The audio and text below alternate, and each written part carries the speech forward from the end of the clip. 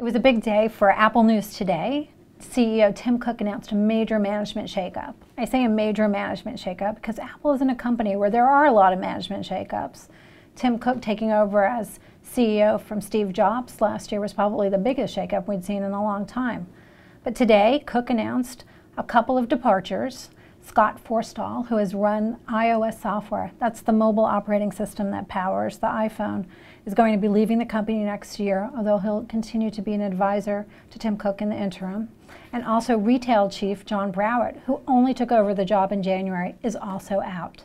A couple of the other changes that we saw, Jony Ive, who is in charge of the industrial design team, is also going to be looking at human interface uh, design across all projects at the company.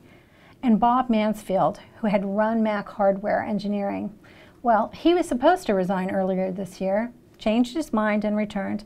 Now he's been given an even bigger role at the company, which includes overseeing semiconductors, the chips that power Macs and iPhones. He's going to be staying on for two years, according to Tim Cook, in an email to employees. What does the market think of the news? Well, it's hard to say. The market is closed thanks to Hurricane Sandy. And so we'll just have to wait and see what people think of these changes. But it definitely goes to the point that Tim Cook isn't afraid to shake up his management team. And that's what we're seeing here today.